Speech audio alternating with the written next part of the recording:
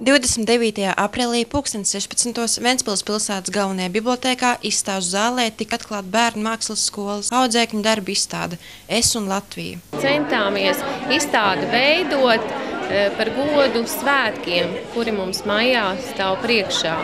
Un šo pasākumu mēs visu veltam tā kā pirmsvētku tradīcijām, notikumiem. Šajā izstādē mēs esam izstādījuši mūsu mazāko skolu, skolu audzēkņu darbus, pirmā kursa audzēkņu keramikas darbus un arī dažus gleznojumus.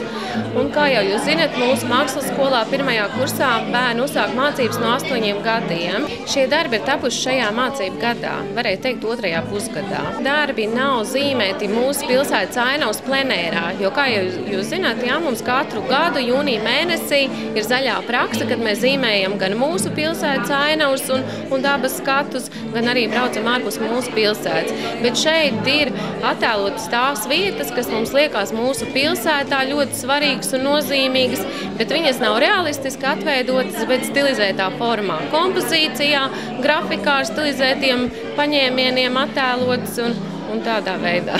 Tā kā visi interesanti var nākt apskatīties, arī vecākus es ļoti gaidīšu, lai atnāk apskatīties, kā viņu bērniem ir veicies mākslas skolā. Dažiem audzēkņiem šī ir pirmā izstāde.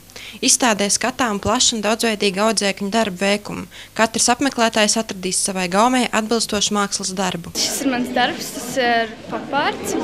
Um, mums sākumā uh, bija jāatrod, kādu tieši veidu darbu mēs gribēsim. Un, uh, tad mums viņš bija jāpārzīmē nu, laikam 15 reizes lielāks. Un, uh, tad vienkārši par rūtiņām uh, viņš bija jāpārzīmē.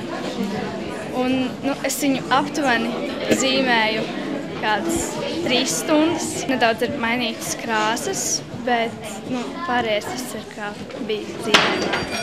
Izstāde Ventspils pilsētas galvenajā bibliotēkā izstāžu zālē būs apskatām līdz 29. maijam. Vīta Švinberga, Andrejs Kulīgins, Kurzems televīzija.